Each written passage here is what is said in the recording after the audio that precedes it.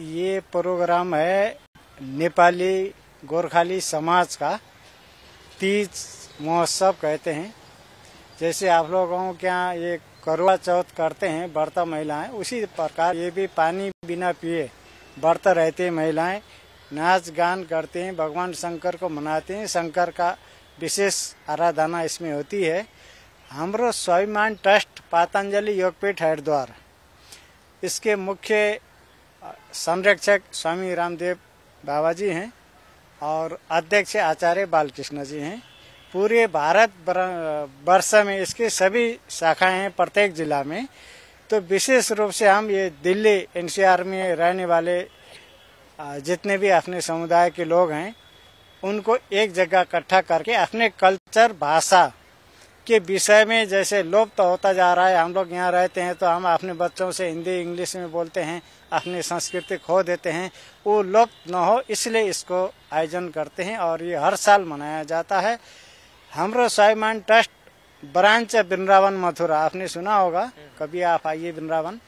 तो वहाँ का जिला अध्यक्ष मैं हूँ, वहाँ से हम लोग की गाड़ी भी आई है और हमारे मैडम जी जो है, कोषाध्यक्ष हैं, बाकी वो बताएँगे सुनीता गौतम जी उनसे भी पूछ लीजिए। तो ये कुल मिला के एक सांस्कृतिक आध्यात्मिक और जैसे नेपाल का और भारत का रोटी और बेटी का संबंध है तो वही कल्चर हम यहाँ प्रस्तुत कर रहे हैं। जो गाना गा रहे थे नेपाल के टॉप में गायक हैं ये ये बहुत आ, मुश्किल काम है। आपने बहुत जटिल प्रश्न पूछा। आज का समाज क्या चाहता है कि अपने माँ बाप को भी साथ में रखना नहीं चाहता है? हम दो, हमारे दो। आज का परिवार पति, पत्नी, बेटे और बेटी, इसके अलावा आगे नहीं जाता है। और ये कल्चर, ये हमरो स्वाभिमान, ये चाहता है कि माता, पिता, बुज़ुर्ग जो है, उनको साथ में लेके चलो। उन्हीं से ही भविष्य है।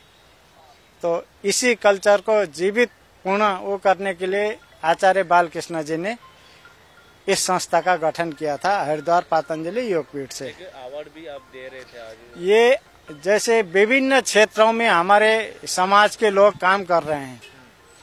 अभी चंद्रयान थ्री जो गई है उसमें भी एक हमारा टीम का आदमी था चंद्रयान भेजने में। उसको बहुत अच्छा काम किया कह के हमरो गौरव मतलब हमें फक्र है कि आपने अच्छा काम किया।